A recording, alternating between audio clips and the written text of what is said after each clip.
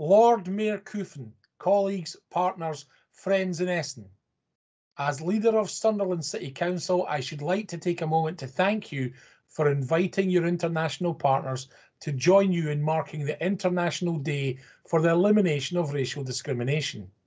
I am also personally delighted to have the opportunity to work with you again. It was a pleasure to host you in Sunderland not long before the COVID pandemic began and to be reminded of just how much our two cities have in common. Tackling racism is crucial to making our world a fair place and a better one for all of us. It remains a global issue, and so it is essential that we stand with partners around the world and cooperate on this. It is an honour to work with our partners in Essen, who we know are committed to tackling inequality and to including diverse groups of residents in all elements of city life. I know that you have been marking this international event annually since 2016. I am conscious the theme of this year's events in Germany is Solidarity Unlimited, and I feel that it is especially meaningful at a time where communities around the world are all facing challenges that we could not have imagined a year ago. It is more important than ever that our communities stand together in solidarity and support one another. Sunderland also has a long track record in tackling racism and fostering a strong sense of community cohesion in our city. We are proud to have many partners who deliver activities to support progress on this agenda and who cooperate year round as well as marking this International Day on the 21st of March. We have a citywide hate, crime and tension monitoring group here which was established two years ago and tracks any crimes against any minority groups, including on the grounds of race. It supports victims and monitors emerging trends. I am particularly proud of our hate crime champion scheme, which trains champions and has so far trained nearly 10,000 across the city through a collaboration between Sunderland Partnership and Northumbria Police, and for which there are now plans for a training package for schools. Colleagues in the Council work in partnership with other organisations to deliver activities during key times such as Refugee Week, and we always organise a programme of activity during Black History Month from lectures to guided visits and from sessions with schools to reading lists in our community libraries.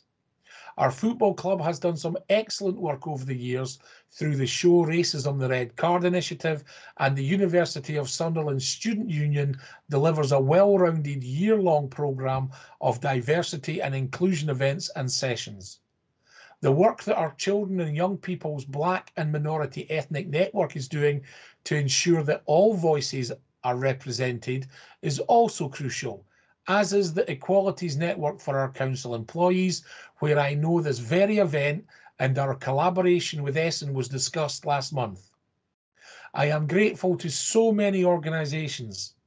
To name just a few working in this area in Sunderland, ICOS, the International Community Organisation of Sunderland, EMAS, the Ethnic Minority Achievement Service for Schools, Sunderland Bangladesh International Centre, the Sunderland Partnerships Equality Forums, and partners who come together as the Refugee and Asylum Multi Agency Meeting. But we are not complacent and we know that there is still work to be done.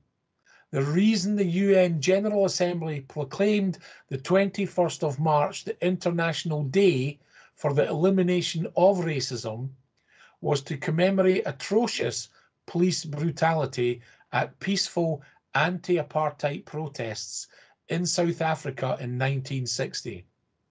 It is worrying to see the parallels in the Black Lives Matter movement some 60 years later, but it is also heartening to see the new dialogues which have been opened up in the last year or so, and to see how many people are willing to come together to tackle the discrimination and intolerance that minority communities still experience. The theme the UN has set for this year's International Day for the Elimination of Racism is Youth Standing Up Against Racism. And I think this too is something that fits well the priorities of both our cities, Lord Mayor Kufen. I know that Essen is similar to Sunderland in placing great importance on enabling the participation of our young people in all parts of our city's lives and decision-making processes. Young people have shown great leadership on this topic, and I think we have every reason to be optimistic for a future in which racism can be tackled and one day eliminated. Lord Mayor Kufen, I wish you well with the activities you have planned this fortnight and want to assure you that Sunderland shares Essen's commitment to this challenge. We will work with partners across our city to ensure that our council, our schools, our workplaces, our streets, our green spaces, our sports fields, and our cultural organisations are free from racial prejudice and exclusion.